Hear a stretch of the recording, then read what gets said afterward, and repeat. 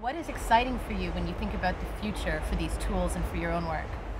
Uh, for the future of it, I guess you have to collaborate, and that's the tough part of it.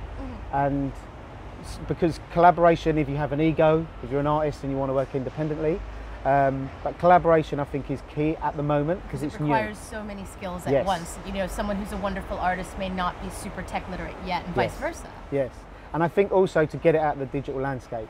So for people to see some of your sculptures, because at the moment VR is still very insular and very in, individual, um, but it's having that ability to, for people to go in and have a look at it. And I think we're really trying to work out how do you get people to have an inclusive experience.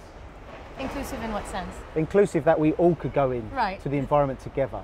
And I think we well we know that's what they're working on at the moment to have the ability that we could all step into the same space Ah. and experience this environment that I've maybe created in VR. While all where while all in our isolated Yes. hardware environments.